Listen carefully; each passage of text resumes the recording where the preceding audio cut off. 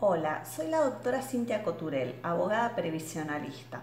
El tema de este video es explicar los alcances del decreto 110 del 2018, que es un decreto recientemente aprobado a través del cual se reglamenta la ley de reforma previsional y un aspecto de la ley de reparación histórica que es el de la pensión universal al adulto mayor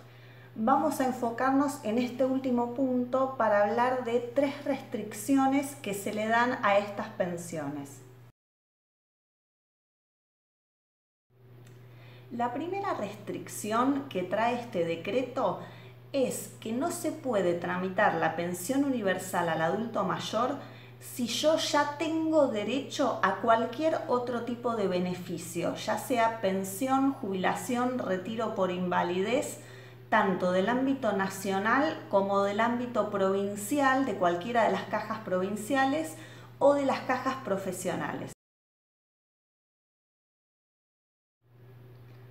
Por ejemplo, un trabajador que tiene derecho a una eh, jubilación por edad avanzada de la provincia de Buenos Aires,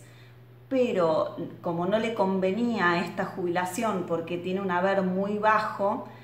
quería tramitar la pensión universal al adulto mayor y mientras tanto seguir trabajando en la provincia de Buenos Aires, esa persona a través de este decreto no va a poder hacerlo porque es incompatible el trámite de la pensión universal al adulto mayor si ya se tiene derecho a otro beneficio.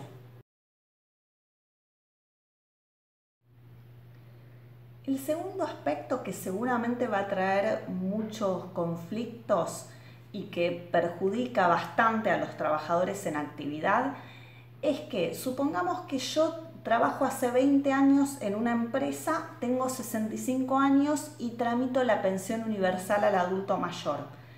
Automáticamente pierdo la antigüedad, es decir, si a los tres meses de que yo tramité la pensión universal al adulto mayor, mi empleador decide despedirme, solo me tiene que indemnizar por el periodo que yo trabajé desde que adquirí el derecho a la pensión universal al adulto mayor.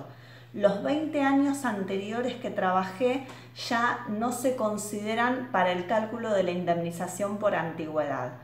Esto es algo que obviamente tiene por objetivo desalentar que la gente tramite esta prestación porque pierden un montón de años a los fines del cálculo de una indemnización por despido.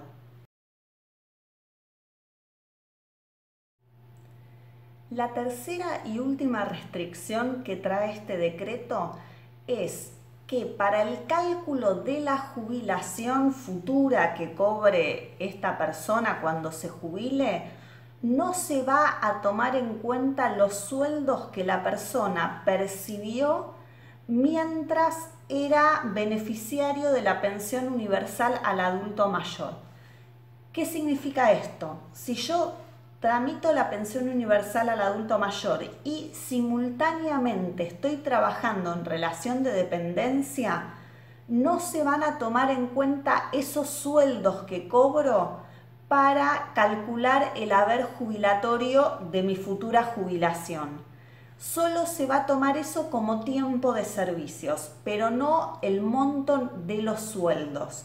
Eso también es algo que perjudica bastante porque significa que se van a tomar en cuenta sueldos mucho más antiguos.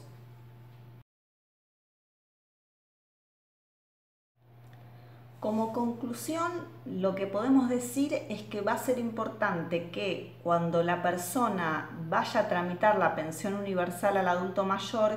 se asesore con un abogado para ver si le va a convenir tramitarla o no, porque mucha gente va directamente al ANSES y me parece que con todas estas modificaciones, sobre todo con el tema de la pérdida del derecho a la indemnización por antigüedad, va a ser importante que cada caso sea analizado por un abogado para ver qué es lo que más le conviene a la persona.